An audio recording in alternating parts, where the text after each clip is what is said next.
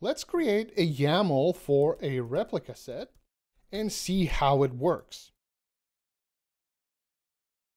So I'm going to save the contents of uh,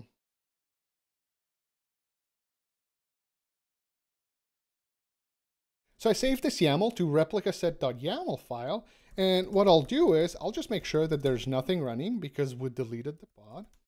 And I'll do the same thing that we did with the pods. I'm gonna run, uh, I'm gonna run kubectl apply dash f to uh, pass in the file name, and we're gonna create a replica set called hello.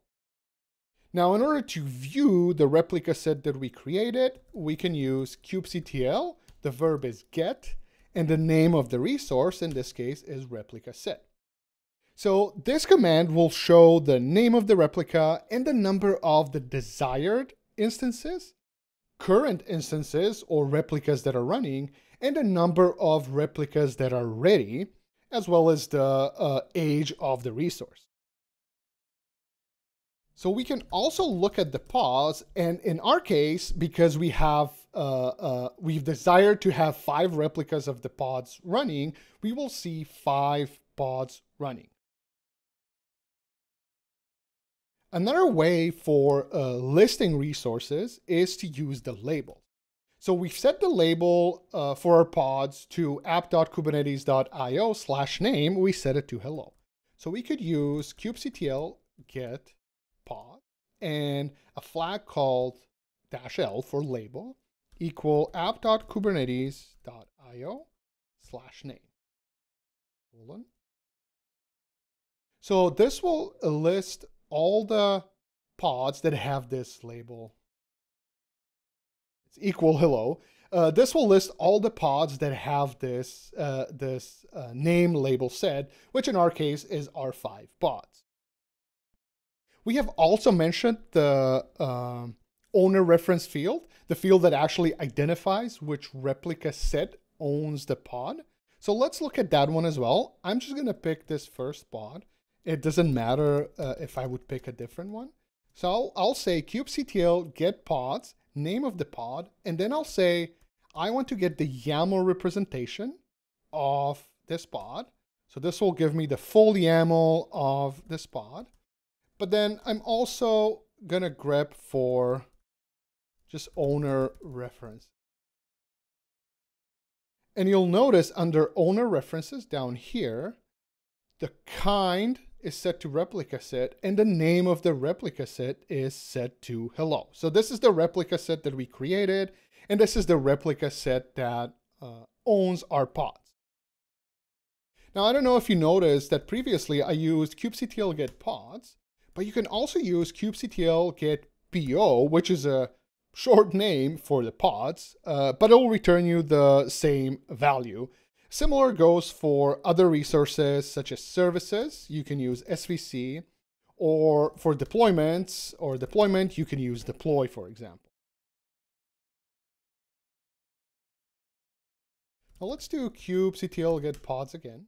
Now, previously, when we created a single pod, the name of that pod was hello-pod.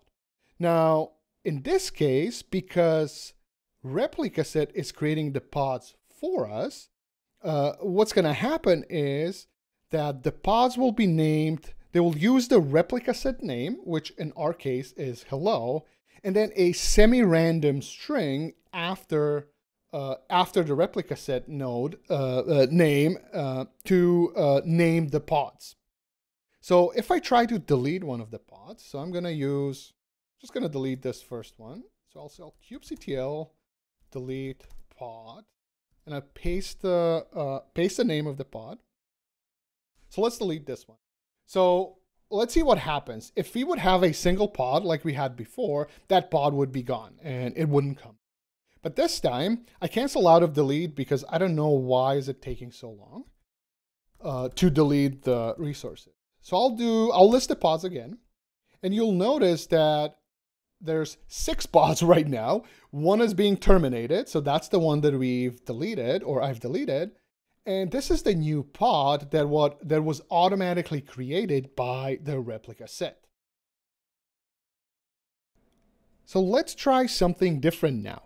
I will manually create a pod that has the exact same label or the label that matches the replica set selector label. So the app.kubernetes.io slash name will equal to hello.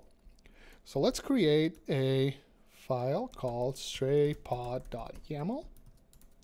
And it's just a simple pod. I, I, I, don't think it really matters what it is down here in the containers. The thing that matters for the replica set, at least, is the labels portion here. So these are the same labels that the replica set is trying to match on. So let's see what happens if we say kubectl apply dash f stray pod.yaml.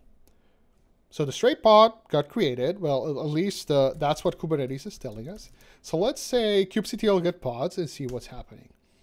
You'll notice that the stray pod is in the terminating status. So there's still five pods running, five hello pods from the replica set running. However, the stray pod that we just deployed is in the terminating state. So what happened? So remember, replica set is making sure that there's only five pods that match this label created at any time, created and running at any time. So when we manually created the stray pod, the replica set took that pod as its own. So the manually created pod did not have the owner set. Now, once the replica set took over the management of this pod, the number of replicas actually went to six and not five as it's stated in the number of replicas in the replica set.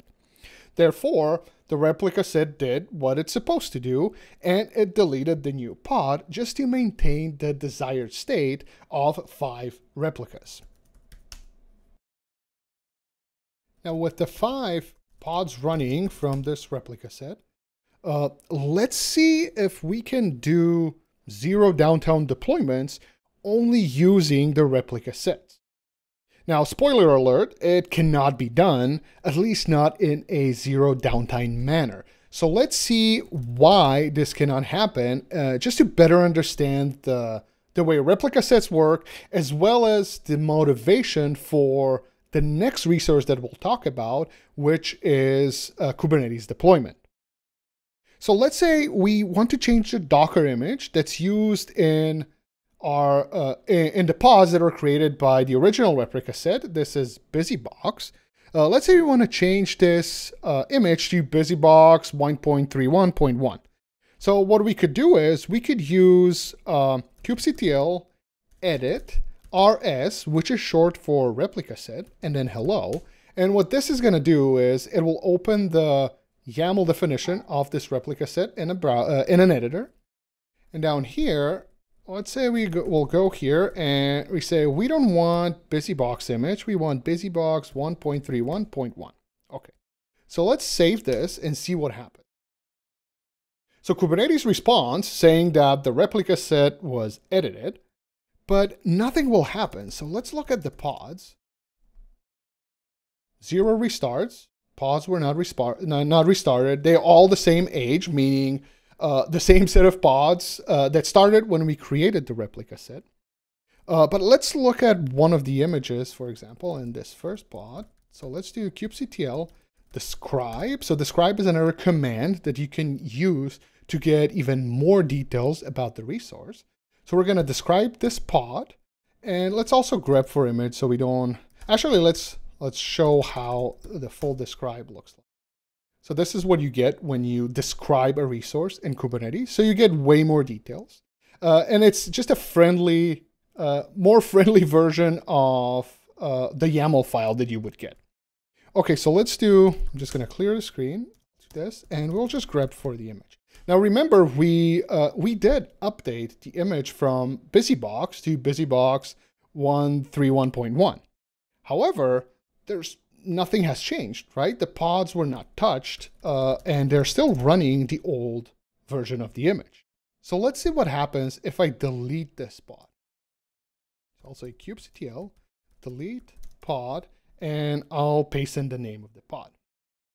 So we know uh, that the replica set will do whatever the replica set does best, and that is to maintain the number of replicas, the desired number of replicas. So we're going to delete one pod So uh, the replicas, the number of actual replicas will go down to five. And then replica set will recreate uh, a new pod. So let's delete this one. I'll cancel out and we will just wait for the new pod to come up. So the pod is being terminated, but you'll notice down here, there's another one that was already started. So let's look at the image that's being used by this pod. So I'll do kubectl scribe pod, and then we'll grep for image just like we did before. Now this time, the version or the image name used is the actual image name uh, that we wanted. Uh, the problem here is that we could go and delete all of these pods. Uh, and then when replica set would restart them, we would actually get the new versions with the new image version. However, this is not really um, zero downtime deployments because you might uh, you might just kill all the pods and then you'll have to wait for the new pods to come up. Uh, however, there is another resource in Kubernetes that can be used to manage replica sets. So we have replica sets that are managing pods, but we also have deployments that are managing replica sets. And these deployments allow us to update pods in the controlled manner. So when we change the image name, uh, what can happen with the deployment is deployment can automatically delete one of the old pods and bring up one of the new pods uh, that uses the new uh, Docker image name in our case, and it's going to do this in a controlled, no zero, zero downtime manner. So let's see how we can delete the replica set before we continue. So we'll say kubectl delete rs for replica set hello.